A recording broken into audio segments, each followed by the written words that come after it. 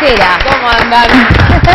¿Todo bien? Muy bien. ¿Vos, Vicky? Todo bien, gracias a Dios. Te pusimos a prueba y dijimos, a ver, embarazada, nutricionista, nos tiene que dar clases, escuela. Doy clase, pero les aconsejo a todas que se asesoren porque se te queman los papeles. Te dicen que tenés que tomar leche y la leche te descompone, que tenés que comer carne y la carne te cae mal. Entonces, claro. por ahí la nutricionista lo que tiene que hacer es saber asesorarte cómo reemplazar el nutriente que ese alimento que te cae mal te da Sí. para no perder la incorporación. Vicky, ¿qué explicación científica, biológica tiene ese hambre voraz que a uno se le despierta cuando está embarazada, que no, no sabes, no, no, viste, y comés, te pide, comés y... y te pide, ¿no? Científicamente, bueno, al principio, viste, todo lo que es náuseas y demás es por el, por el- la cantidad de hormonas que están circulando y el cuerpo se tiene que readaptar a ese, a ese Sí. cambio hormonal. Y después el hambre, la verdad es que no sé, pero es impresionante. Claro, viste que tiene una cosa que uno no sabe qué comer. Lo que hay que aprender a distinguir, que eso sí se puede trabajar durante el embarazo, es cuando es un hambre real y fisiológico, cuando es un hambre de algo rico, cuando es un hambre porque está ahí, un hambre de circunstancia. Entonces, porque tenemos hambre, si yo veo los alfajores me quiero comer un alfajor. O sea, eso es un hambre de circunstancia porque está ahí. Sí. Entonces, por ahí hay que trabajar mucho la percepción del tipo de hambre que uno tiene, entonces uno se controla más. El famoso, eh, ¿cómo se dice? El famoso antojo cuando uno está embarazada. Eh, claro. Por ahí algo que jamás en tu vida comiste o que no, no comes con frecuencia. y- Exactamente, entonces bueno, el antojo, pero lo que hay que trabajar es la cantidad para satisfacer ese antojo. Sí. Porque muchas veces uno come, no hay problema que uno se coma un chocolatito, pero lo que hay que manejar son las cantidades y la incorporación de eso de manera diaria Claro. para no tener ese deseo reprimido de comerlo y el día que me como me como cinco. Vicky, ¿cuánto hay que subir durante el embarazo? ¿Qué es lo normal subir Mira, peso? hay una, una cantidad de kilos que uno debe subir según el peso previo que uno trae antes del embarazo. ¿sí? Las Sí. mujeres delgadas que tienen un índice de masa corporal bajo Sí. pueden subir hasta 16 kilos más o menos. Ajá. ¿sí? Una persona normal que está en un normo peso previo al embarazo, entre 8 y 12, Sí. y una persona que trae un grado de sobrepeso u obesidad, dependiendo del grado, hasta 8 kilos. Perfecto. Sí, entonces- Ay, qué difícil, chica. Es difícil, es difícil. El ¿Primer... las embarazadas suben 20, 25 kilos, Vicky? Suben mucho, por eso te digo, ahí es porque no se trabaja lo que es la percepción del hambre real, o empiezo a comer, me da ganas de comer papa frita, antojo de papa frita, y, y, dej- y suplo, dejo de comer las comidas principales por comer papas fritas, entonces Claro. eso al bebé no le hace bien. Claro, Porque y a la no lo- mamá tampoco. Y a la mamá tampoco, entonces Sí. Es importante asesorarse muchas veces al inicio del embarazo, cuando uno se entera que está embarazada, bueno, a ver, ¿cómo es mi peso actual? ¿Con cuánto arranqué el embarazo? ¿Cuánto debería subir? Y tratar en lo posible, es muy difícil de planificar esa subida. Los tres primeros meses la mujer embarazada no requiere calorías extra.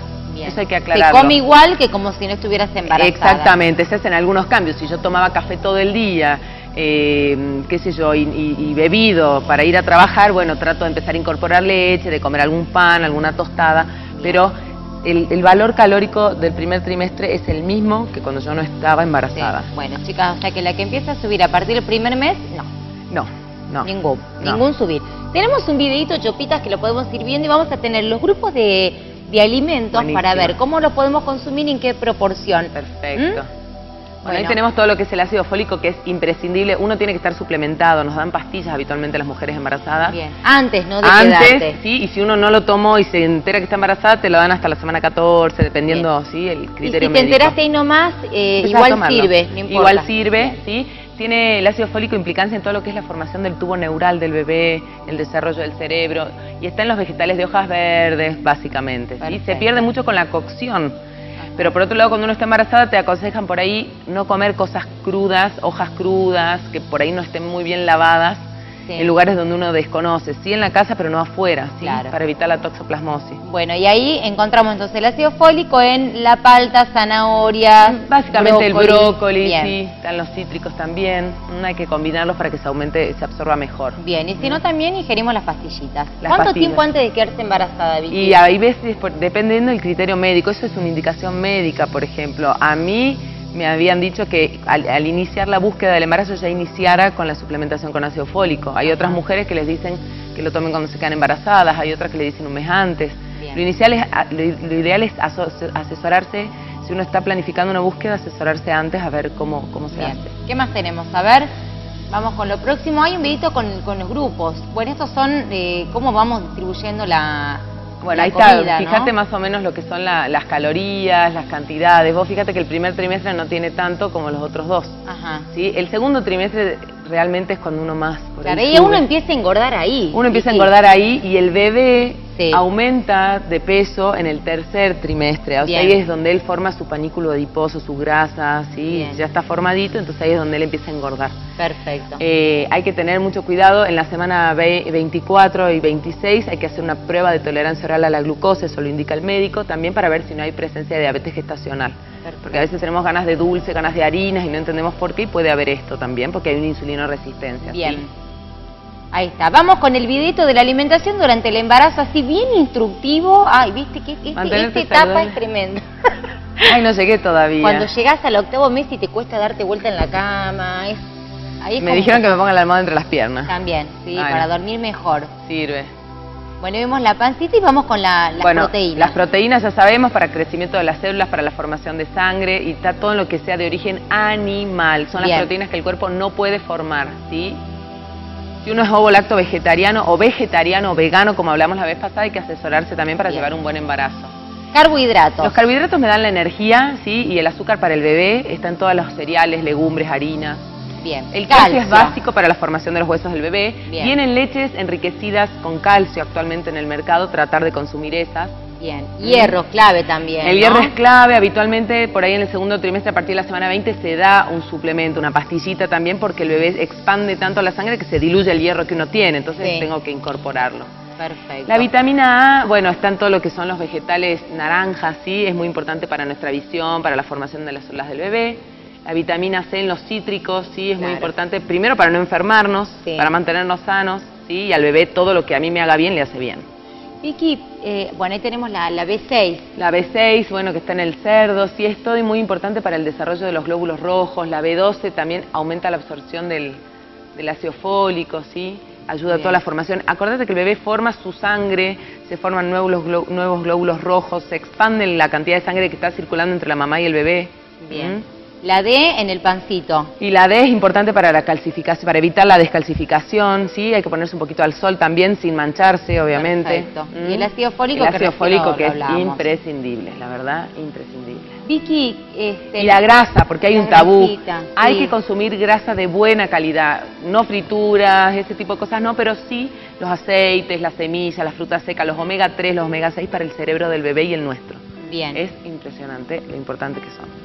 Por ahí pensar en cuidarnos con las comidas estando embarazada, viste, es un tanto difícil. ¿Cómo hacemos, Vicky? ¿Cómo hacemos? ¿Qué, qué te pasa a vos ahora que te está Y a mí me pasó, el primer trimestre uno está descompuesta, no tiene ganas de comer, están, podés tener gastritis, podés estar constipada. Por eso lo importante es asesorarse. Bueno, esta es mi situación, porque no somos de libro, la verdad que se queman los papeles. y cada uno es Y se, y se adapta, por ejemplo, en el caso de una persona que tiene gastritis, como me pasó a mí, hay que comer fruta y verdura cocida, la carne hay que incorporarla al mediodía y no a la noche para no estar pesada. Sí. Si uno está constipado, tratar de tomar más líquido, de no incorporar arroz, de comer más de fideos integrales cuando los tolero. Sí. En el segundo trimestre uno se siente mucho mejor, entonces es donde está esa, ese hambre y esas cosas, esas ganas de comer todo lo que uno no comió al principio. Entonces, por ejemplo, a mí me está agarrando mucho por lo salado, lo contrario a lo que me gustaba, entonces, ojo con lo salado porque también uno retiene más líquido. Claro. Entonces, bueno, Mucho líquido también hay que consumir, hay que ¿no? consumir mucho líquido, tratar de que no sean esas bebidas azucaradas por ahí que vienen. Bien. Y no incorporar calorías vacías al bebé, o sea, Ajá. gaseosas, ese Bien. tipo de jugos, no. ¿sí? Bien. En el tercer trimestre, no, no llegué todavía, pero dicen que ya aprieta mucho la panza. Comes igual, Estás con acidez. comes igual. Uno piensa que porque tiene acá, viste, no te fraccionar la alimentación. Lo más importante es poder permitirse comer lo que le gusta, me Sí. parece a mí, saber que no es el día final, que no es que el último día que me agarró el antojo del sándwich o del chocolate, Sí. entonces empezar a incorporarlo de manera diaria. ¿Sabes qué pasa? Que hay mujeres que dicen, bueno, yo como estoy embarazada me lo permito todo. No, chicas, porque después les va a contar un montón, pero Y pasa esto y mucho, ¿no? cuesta, No me y- importa, estoy embarazada. Y hay formación de estrías en la piel de una, Claro. o sea, el problema es el después por ahí, ¿sí? Sí. Obviamente que el aumento de peso es está biológicamente fundamentado para poder eh, dar de mamar, para poder dar lactancia materna exclusiva hasta los seis meses y es lo más importante, eso sí justifica, ¿sí? Claro, claro. Uno sí va a subir de peso, es Sí. para formar la leche que va a alimentar a tu hijo. Perfecto. Pero bueno, todo exceso es malo, entonces Claro. por ahí hay que asesorarse. Si te cae mal algún alimento, por ejemplo, a mí me pasó con la leche, entonces yo pensaba, bueno, ¿cómo puedo incorporar el calcio que hoy no tolero? ¿A través de qué otro alimento lo puedo incorporar? Bien. Hay yogures enriquecidos con calcio, entonces no descuidar los nutrientes importantes, hierro, calcio, ácido fólico, proteínas. ¿Mm? Consulten a la nutricionista, chicas, porque es algo también clave, ¿no? A veces uno, como decís vos, se te queman los papeles porque, bueno, cada uno tiene sus propios cambios. Exactamente. Entonces, la nutricionista que nos guíe, a ver, ¿qué podemos consumir, qué no? Para cerrar, Vicky... Mm comemos la misma cantidad de veces al día, ¿cómo hacemos por ir para calmar un poco la ansiedad? Por lo menos tenés que comer cada tres horas, ¿sí? entre cinco y seis comidas, dependiendo tu ritmo de trabajo, tus horarios. Livianito. Si, yo trabajo en algún lugar donde hago horario corrido, por ejemplo, y recién atiendo al público y puedo recién almorzar a las 4 de la tarde, tengo que hacer dos ingestas aparte del desayuno entre, entre el desayuno y el almuerzo. Entonces hago desayuno, colación, colación, almuerzo, merienda y cena. por ahí seis comidas, pero la distribución va a depender del hábito de uno. Bien, y si ¿Mm? te da un hambre tremendo, una fruta. Te comes una fruta, si te agarró ganas de algo salado, podemos ver un pedacito de queso, un, paquetito de grisines, por ahí se puede ver, o por ejemplo, a mí me agarró antojo a, a pebete. Entonces, ¿qué trato de hacer? Me como medio pebete, no me como por ahí el pebete entero, ¿sí? Y por ahí sin mayonesa y mantequita. Sin, nada, o jamón, quesito, con, con el fiambre, pero te, te, comes la mitad. Y sabes que todos los días de último te comes medio pebete, como hago yo. Que encima cuando te dé el antojo lo tenés acá, ¿viste? Sí, no, y, no, y no, querés otra cosa. Ni, Pues si uno, uno come quiere pebete y come la manzana, después el pedazo de queso, la barrita de cereal y después el pebete. Engordé más comiéndome todo eso. Bueno, el pelo. A consultar entonces a una nutricionista si estás embarazada y por ahí te cuesta acomodarte un poco con el tema de, la alimentación. Vicky, ¿dónde te encuentra la gente? Yo estoy en el Centro Médico Más, Buenos Aires 196, esquina Urquiza, tercer piso. Al pelo. Bueno, gracias Vicky por gracias venir. Gracias a vos, ¿eh? ¿Desayuno o cajita de alfajores? Y alfajores. Alfajores de una. Bueno, ahí está. Nos vamos con los alfajores. Voy a repartir para todos los demás que me piden. gracias Vicky. No, gracias a vos.